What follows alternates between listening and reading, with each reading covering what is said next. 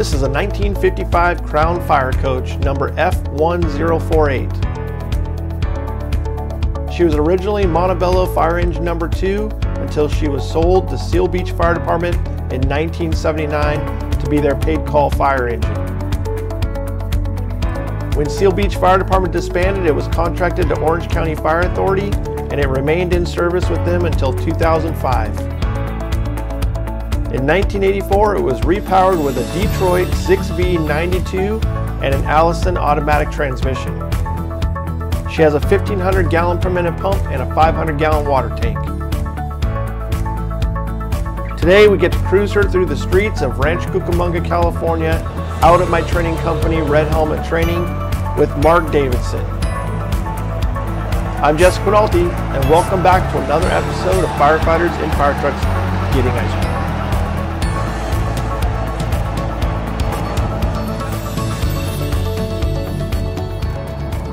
Hi everybody, how you doing? Uh, Jesse Quinalty from Firefighters in Fire Trucks Getting Ice Cream. And uh, we're out here at Red Helmet Training, um, my training company in Rancho Cucamonga. Uh, and we're gonna hang out with Marc Davidson from Fairfax, Virginia. He was here at my place uh, teaching small unit leadership, uh, crew resource management, uh, crew dynamics, all that kind of cool stuff. And he got to come out from Fairfax, Virginia to this great weather while it's uh, snowing back there at his place, uh, just to kind of talk about that. Uh, he's here as part of our Learning from Leaders program. Uh, we're doing a big name every month for the entire year of 2021 for our 10 year anniversary. So Chase Sargent from Buddy to Boss, Reggie Freeman, Mike Gagliano, Pete Van Dorpe, Phil Jost, Steve Prziborowski, uh, all coming to Red Helmet Training, uh, Jared Sergi, so if you're in Southern California, come on down. It'll be awesome. But right now, we're going to go talk to Marc and just do some cool, cool uh, leadership uh, stuff. Uh, so stay tuned.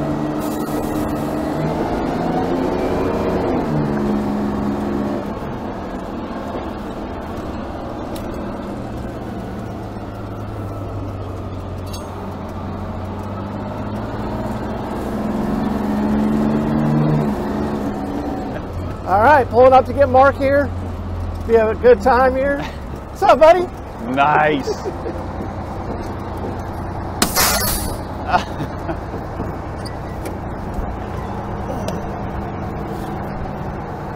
What's up, brother? This is All a ride. This is, You ready to get some ice cream? Yes, I am. This Okay, is a ride. let's go. All right.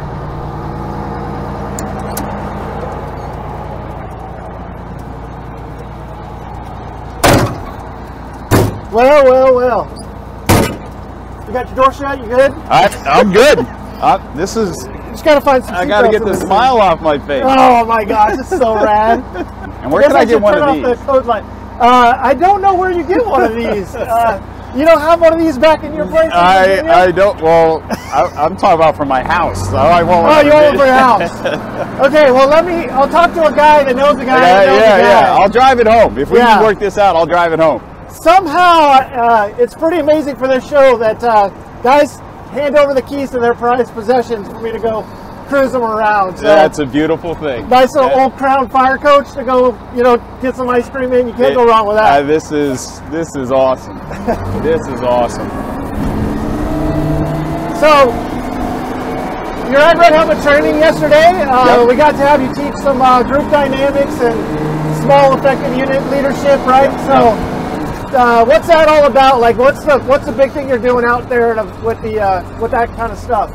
Well, I, I I spent some time in the military, then come into the fire service, and what I see fairly quickly is kind of a disjointed, what I perceive to be this disjointed approach to leadership. Uh, you know, my perception of the fire service coming in was, you know, just like the military, they train for leadership and they have effective leaders, and you know, firefighters are awesome.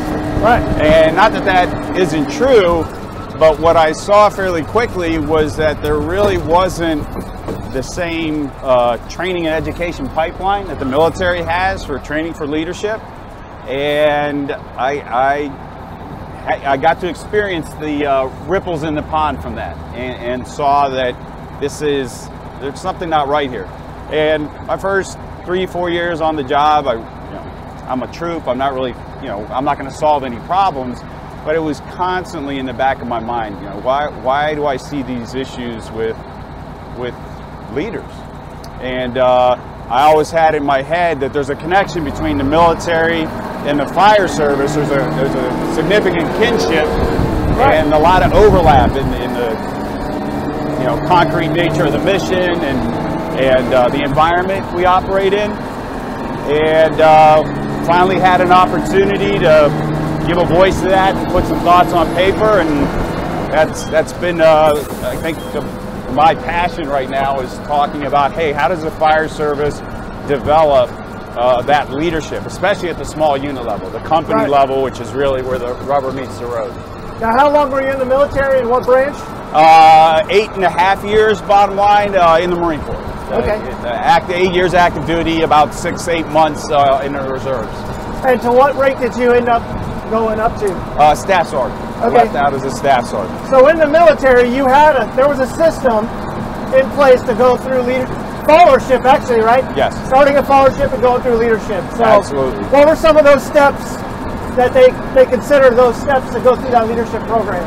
Well, it, it starts literally in recruit training, in basic training, where you're taught about being an effective follower. And, and that may seem obvious or, or like, well, yeah, that's what basic training is. But uh, getting somebody to understand their role and how they fit in that role is not just follow orders. Uh, in the Marine Corps, you're taught 14 leadership traits, like within days of, of arriving there. In some cases, you know it before you get there. And that idea of teaching even the newest employee of the organization 14 leadership traits may seem a little odd because you're like, hey, they're, they're just a private, they're just the, the newest member of the organization. Why do they need to know about leadership? Right. And that is what establishes very quickly an understanding of followership and leadership because, particularly in the military, your move into informal leadership and then formal leadership can be very quick. And given uh, you know a set of circumstances, it could be rather immediate. And if you haven't laid down that foundation of what effective followership and leadership looks like, uh, you're, you're going to fail. And so that that idea alone to me was uh, an important connection. To say we, we really didn't do that. Recruit school and the fire service was drag hose lines, listen to whatever the officer has to say. That's all you need to know. Right. So, uh, in class the other day, you talked about the uh, the connection between the fire service and the military, Yep. going back to the Civil War. Yeah. Yeah. So, uh, how did how did you come across that, and you put it in your class today? Well, uh, it, it starts out with a small piece that I got of uh, out of Essentials when I went through, so whatever fifth edition or whatever that was, and they had a small reference in there to the Civil War and firefighters. So fast forward 15, 20 years later, when I'm really starting to dive into this and do research and find out what I can and how do I apply it in the fire service, I, I actually had to search for that because I couldn't remember where it was at. But that's what started that thread of understanding that actually the American fire service and the American military uh, reach a crossroads in, in, in the Civil War. And it starts with the, the United States Army saying, hey, we need soldiers. And, and you know, we, they're going to recruit from anywhere. They're going to draft anybody they can get. But one of the areas they specifically identified as a, an important cohort was firefighters. They're looking around at people that have uh, great physical courage, who know how to follow orders, who can operate under high stress. And you know, when you look at Philadelphia and New York, and these these firefighters that are that are there, they drafted entire cohorts of regiments. The Fire Zouaves from Philadelphia, Excelsior Brig- uh, Brigade from New York, and uh, even to the point where at the Gettysburg battlefield, there is a statue, a monument to that connection between fire service and, and the, the, the soldier. Right. So that, that nexus to me was important, but more critically, coming out of the Civil War, when now these firefighters that went in, they're, they're, largely decimated. They're not, they, you know, they, they, died, they died in battle. But now, as peace breaks out, the fire service, the cities are looking, hey, where, where do we hire firefighters to protect our, our, our citizens? Right. And hey, let's look for somebody who displays great physical courage, can operate under stress. right. And, and, well, coming out of the military. So now uh, the fire service is largely drawn out of these veterans coming out. And it really begins for the American Fire Service this paramilitary structure, which in large measure didn't exist before the Civil War because we were based on the European fire model, which, right. you know, even the supervisory structure, there was a foreman. Uh, that was the term, the legacy term. And uh, it was interesting, just the other week, uh, we found out that DC, uh, up until the 70s, referred to their supervisors as foremen. Right. So that legacy continued. But that transition for the American Fire Service into that post-war paramilitary structure, to me, was just fascinating because, you know, you fast forward to now, and the fire service, in, in large measure, has a feels a kinship to the military and respects what they do. The military respects what we do, and that that was part of me looking at this. Well, if there's this kinship, if there's this connection, if there's this historical perspective, if all these things align, why why are we not learning from them? Why aren't right. we doing some of the things, not all things, right. but, but right. some of the things that we can learn from them? Why are we not doing that? And it just seemed, at the time, it was like that. Oh wow! But the more I look at it, the more the more critical I become of why haven't we done this? So that connection is where it starts. Yeah. Well, and it's uh, it's pretty funny. That's why you talked about like. Uh, all the firefighters now, it's the reason why they have a thousand blue shirts in their yes. closet. Yes. Because of uh, who ended up winning that war and where yeah. what yeah. the uniform became, you know? Yeah, no, I, I jokingly talk about that because, again, going back to before the Civil War, based on the European model, uniforms, and you look at a Currier and Ives print from back in the day, blue, green, there was purple, there was orange, all these light right. colors, flourishes, uh, leaders would wear ostrich feathers in their hats, and uh, I submit that our battalion chiefs should wear that on the incident scene.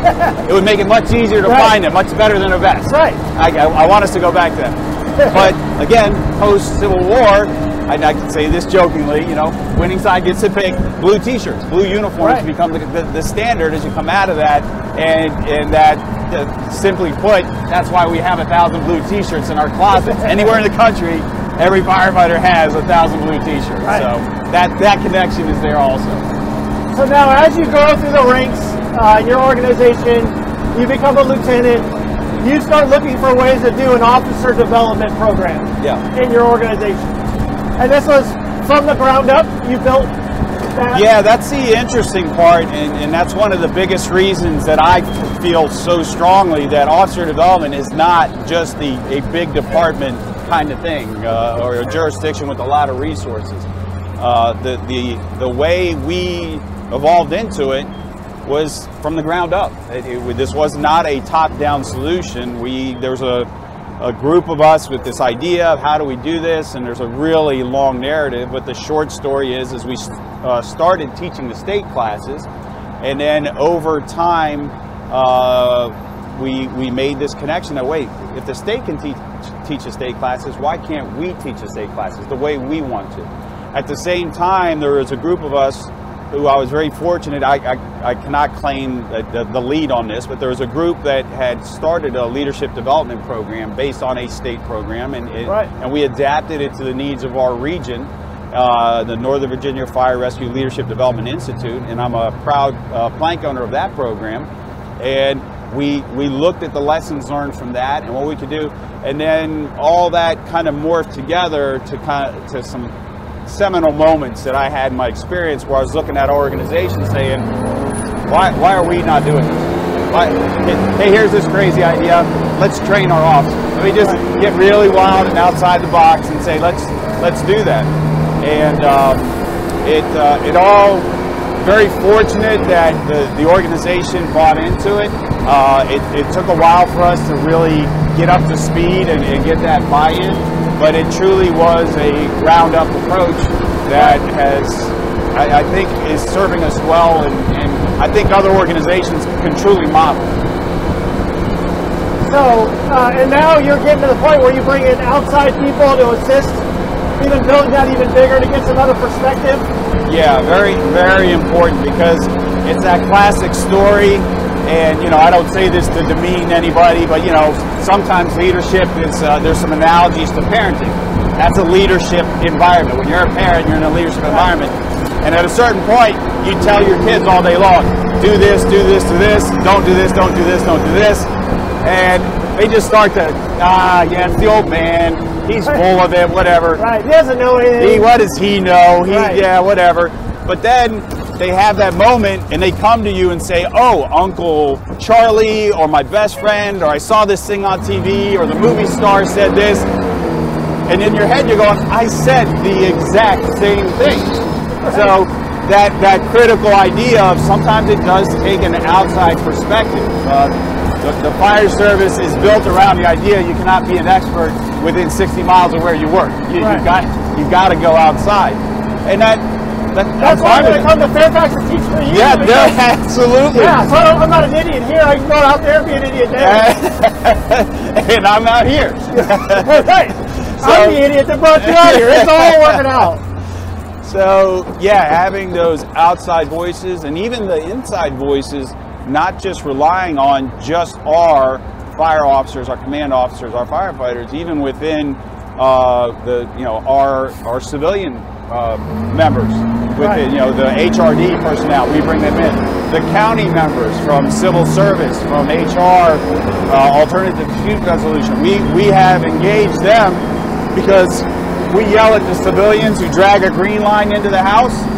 What do I know about HR? How can I teach HR? How can I teach conflict resolution? So let's engage uh, those SMEs, those people who know.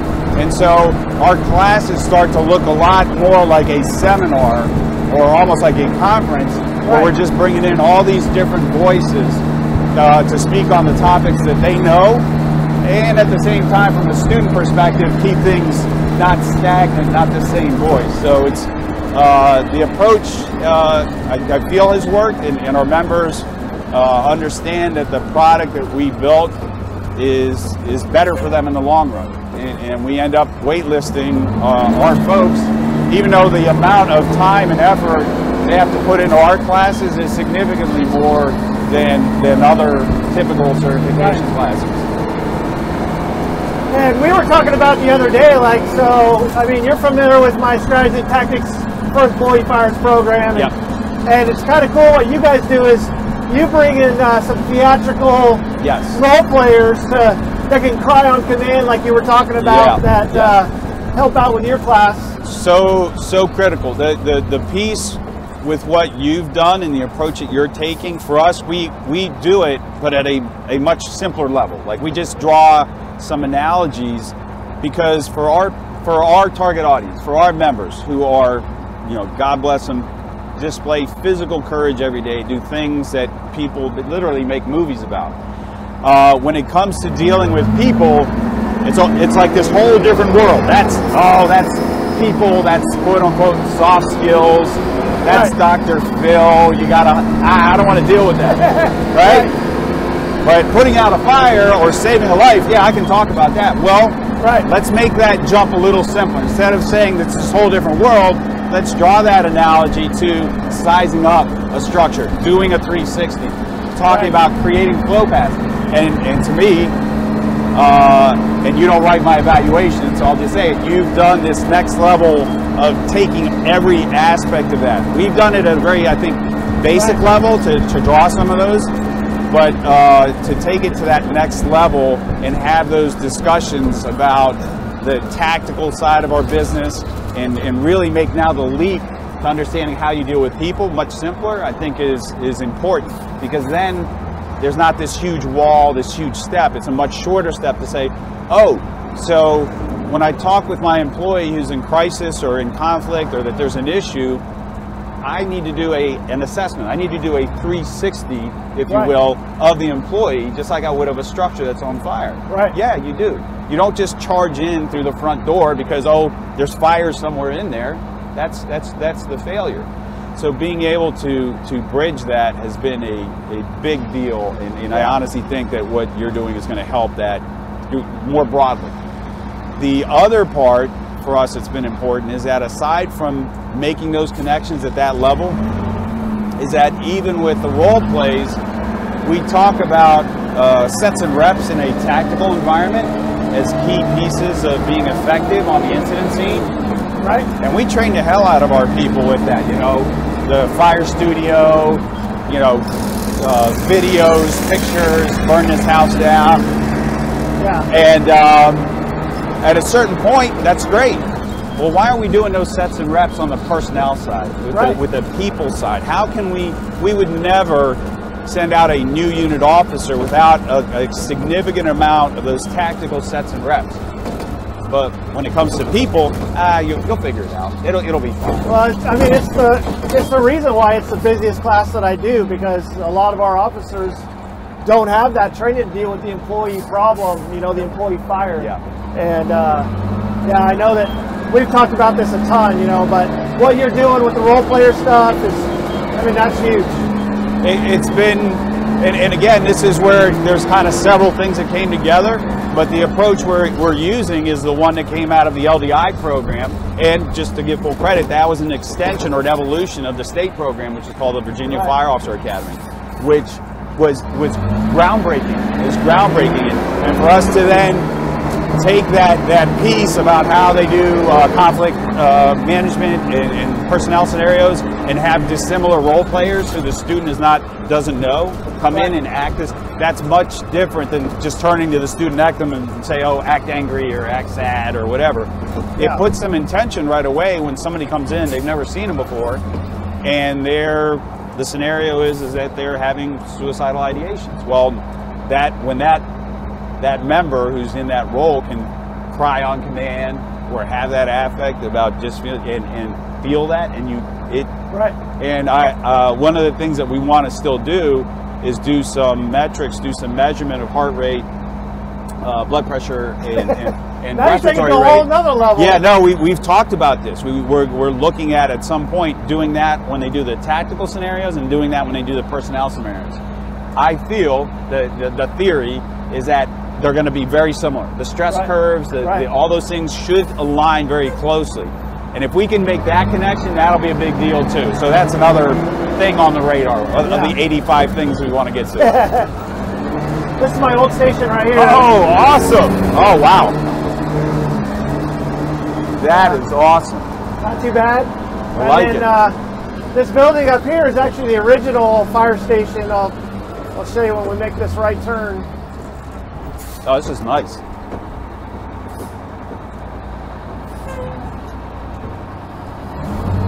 Is this still RC No, this is Upland now. Upland? Okay, Yeah. beautiful. And then that, the building right here in the middle was the original station.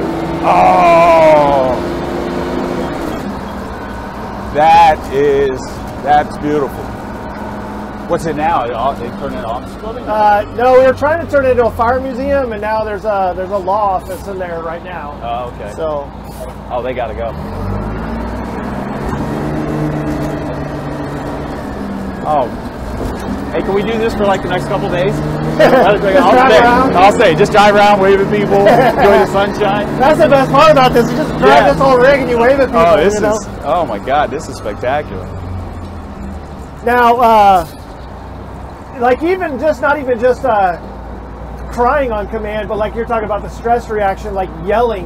Yeah. And it's it's funny. uh, Originally, like those employee problems, we're just doing it as a simulation. It's a game. Yes. Right. Right. And when it's done, you see the the officer candidates come out of that thing, and they're just like, "I just wanted to punch that guy." And Yes. It's like it's just a game. Just relax. Yes. Walk through the process. Right, And right. Uh, yeah, it's pretty funny. Yeah, well, and, and we talk about because we have by the time we get done, our candidates or students are sitting there, they're sweating, their their hands are shaking. That stress reaction is identical to what happened on the incident scene, and their ability to manage that emotion is so important because what we don't want on a tactical event is somebody who sounds like they're being chased by a bear, right? Right. We value that when somebody marks up, yeah, I'm on the Charlie's side, and you go cool, calm, and collected. Well, then again, carry that over to the per- personnel side, the people side. If you're in stress and you're breathing fast and your hands are twitchy, Right. You're, you're not in control of your own emotions, and then that, by extension, means you're going to overreact. You're going to react more strongly, and and that sets a tone for the leader. So all that that ties into it.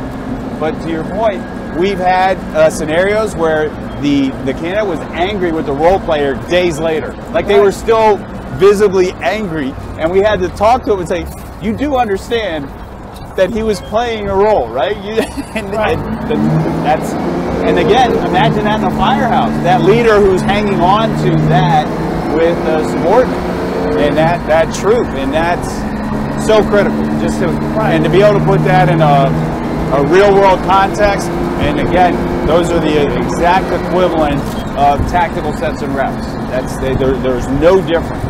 Right. There's no difference, and and for us as a fire service, not to value that and not to invest in that, I think is part of a, a, our failure that, that we have to change. It has to change.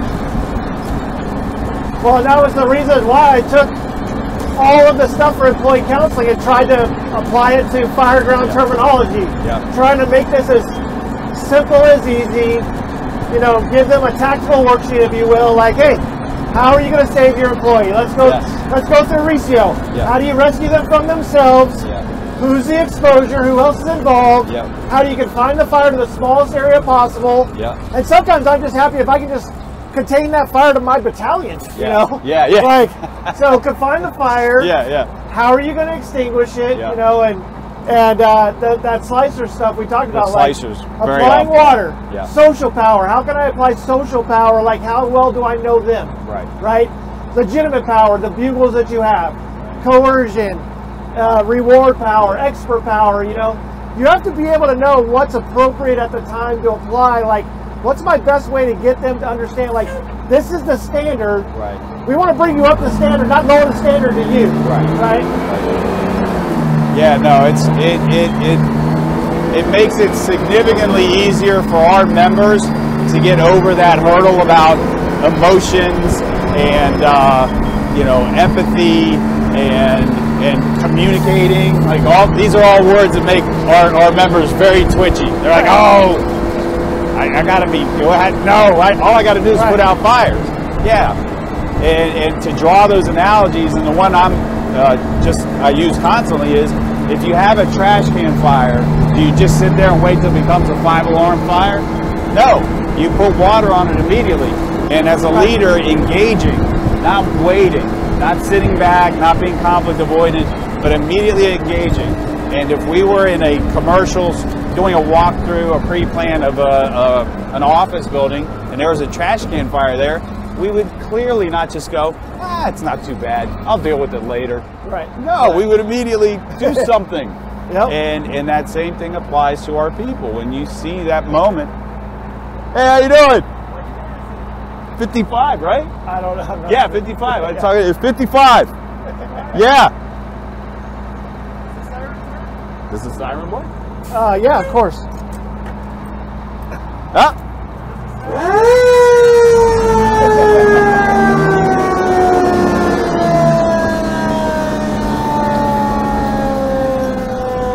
Going to respond to an event now? I gotta find the siren brake now. I saw it for a second. There it is. That's funny. If we get a chance to add on to something, I'm in. Uh, that's all I'm saying. I, Oh, I get to the siren. Hold on a second. We got some gear in here. The pump works. I got helmets. We, We, can, we will can make some work. magic happen. Yeah. But yeah, that, that, that idea for our, our leaders to know that in a firehouse, what you're doing is setting the foundation for the fire ground. And, and if you look at those small situations, go, ah, it'll be okay. They're, they're adults, they can talk it out. Or, oh, Right. that little comment that they, that, that, uh, that member said, yeah, I'm sure he didn't mean it. No, no worries. Right. Well, well, he or she said, and then uh, no, you, you're basically that's your trash can fire. You had a chance to put a cup of water and make it stop, and you take a pass, Right. and it will display itself at some point. I just firmly believe that what happens in the firehouse eventually displays itself on the fire ground, the fire ground, any incident. Right. And when you allow that dysfunction to occur, it's just a matter of time. Just a matter of time. Well, and, and like you said, if you don't put out those small fires, they just become large fires. Yeah. So Yeah. you got to constantly just monitor that Yep. and uh, keep going through the process. Yeah. But uh, sorry, I'm trying to drive and talk here. Yeah, yeah, no, you're good. You're good. We got to keep it between the ditches. That's what That's I've it. always said. Now I'm going to go opposing because I didn't turn in the right spot here. Let's see. Okay. You know, and it all leads.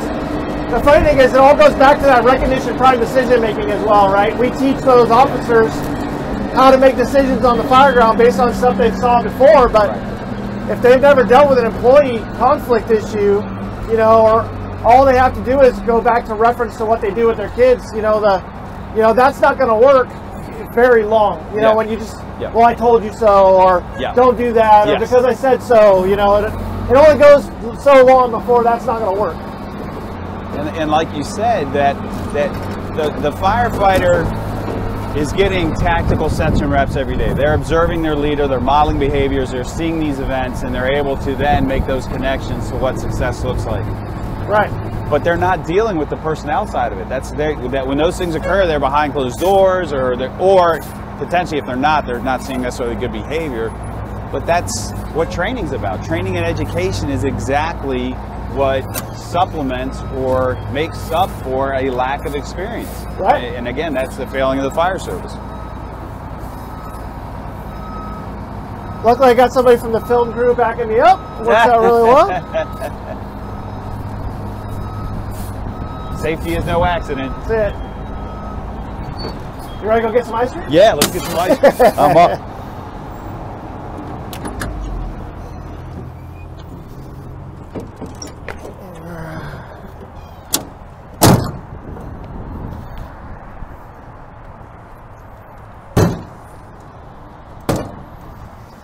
All right. So this is Handel's since 1945, so even older than the rig we're driving. Nice, Uh, nice. Yeah. Can we do this the rest of the day? That's all I'm asking. Just say it. I, I, I, I'll, I'll open Eventually, it up. I got to get you back to Virginia to your, your wife, your fire chief. I'm sure She'll understand. I don't know which one wants you back home more, your wife or your fire chief, but yeah, we'll figure that out. So, Uh, hello, how are you?